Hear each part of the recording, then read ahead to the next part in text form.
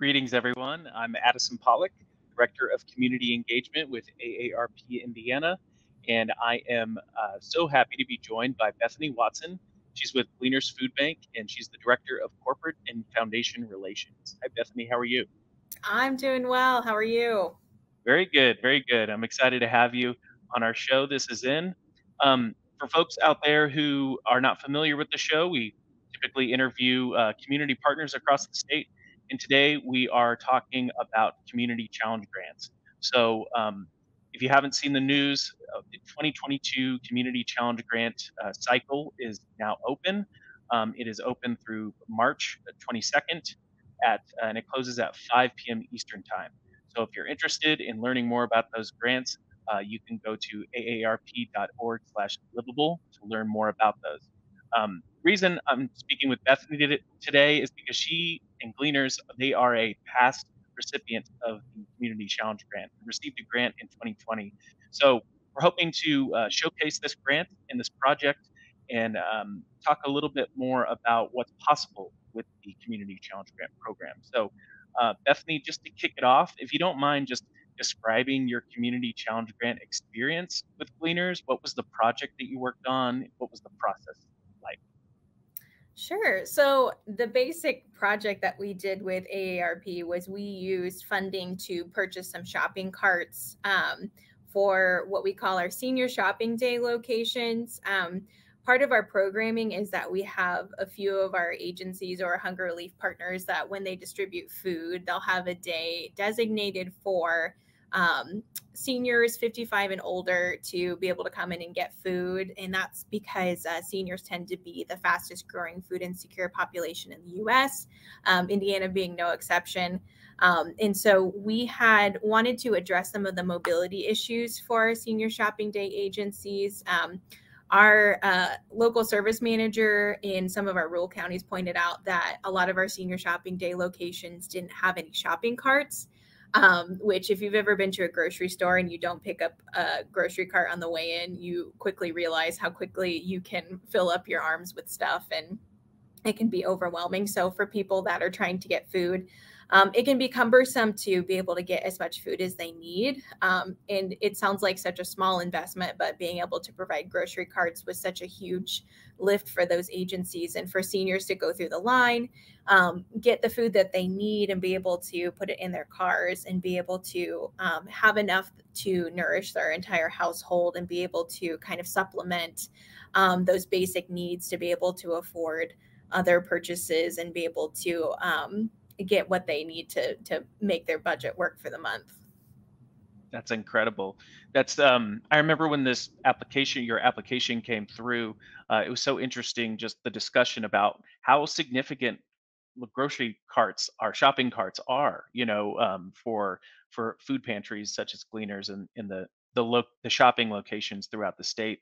Um, can you talk a little bit more about um, any updates or developments that have come with um, not only the shopping carts, but the senior shopping days uh, at all of your locations? Sure. Um, so I think, like a lot of nonprofits, Gleaners has had its fair share of challenges during the pandemic. Um, with our senior shopping days, eh, that was kind of a challenge because seniors tended to be more of an immunocompromised population. Um, it was difficult to be able to have the similar type of distributions in person where people would come in and get food. Um, so we've had to pivot to more drive through situations or come up with different solutions as to how we can distribute as much bulk food out to our clients while still protecting their health and their safety and, um, you know, making sure that we're following social distancing protocols. Um, now that the vaccine is widely available and now that you know we're kind of opening up to more in-person distributions we're um, definitely excited to be able to do more of the traditional food pantry distributions and be able to give people the opportunity to come in and actually shop for the food that they need and for the food that's going to work best for their household so I would say the most exciting update is the fact that we can host the program as it's originally intended um, and be able to have the client choice that we have for our senior shopping days. So the carts continue to be such a big lift for that to be able to go through the line and pick the items that people need, um, and then we can back uh, pack them up and put them in their cars for them. So it's been a huge, huge blessing for us to be able to offer for our seniors and just to be able to, you know, kind of go back to the way things were before the pandemic um, and and make that transition. Yeah, absolutely. Um, I, I would love to go back to a time before the pandemic. I know it's. I bet that's so so refreshing to to have that sense again. Um, yeah, thank you for for sharing that information. Uh, since your application for the, your community challenge grant was so well received, it was such a good project, and uh, one of the reasons we're highlighting um, your project among others is because we want to encourage other um, you know prospective applicants to to really um, give us their best uh, projects and um, and really put forth that effort um, and, and just so we can really make a decision on um, which ones we want to fund this year. So if you don't mind just sharing some information on um, maybe some tips or words of wisdom on um, you know working with this uh, community challenge grant program, the application process, any any helpful tips would be would be great. Sure. Yeah. I, I remember when we originally applied for this, um, I read the description and I know AARP is really focused on helping increase senior mobility.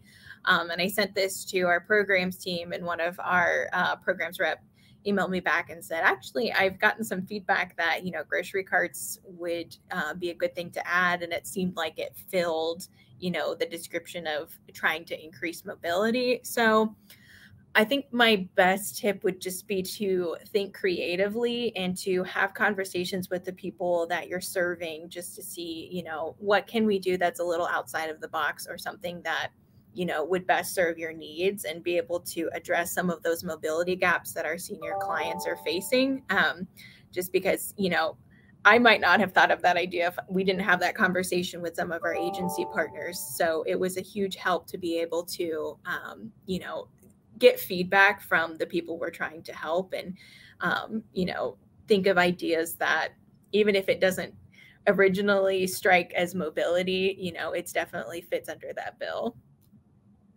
Yeah it definitely does. And um, food security is a huge issue. So you know something that we care about for you know 50 plus hoosiers across the state so um, it just seemed like uh, a real a combination of a lot of priorities that we're, we're we try to support.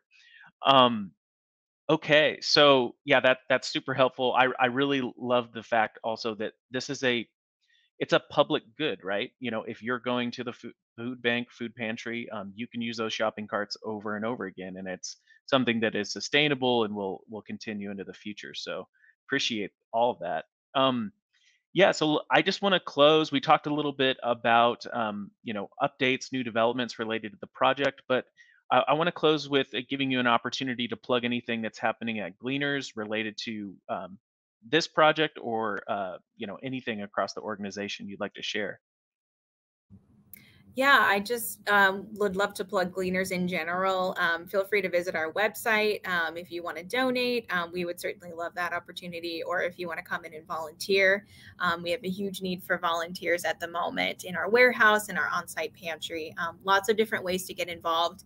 and just being mindful that, you know, we'd love to get to a point where we're back to normal and where the pandemic is over, but a lot of Hoosiers are still experiencing the effects of the pandemic. They're still struggling with hunger, still struggling with poverty, and it's going to be a long road ahead of uh, for those households that don't have enough income to make ends meet. So, as much support as you could give to Gleaners and other um, nonprofits that are in the fight together uh, to be able to help our community um, get out of the situation, um, that would be super helpful. Um, and then Gleaners is always here to, you know, when our lane of hunger leave to be able to not just provide as much food as possible to, to provide the nutritious food that um, our neighbors need, especially our senior neighbors need um, to help you know live a healthy lifestyle reduce food insecurity um, and just improve overall quality of life yeah, absolutely. Well said. Well, Bethany, thank you so much for joining us today. We really appreciate you being here and sharing your thoughts. So thank you so much.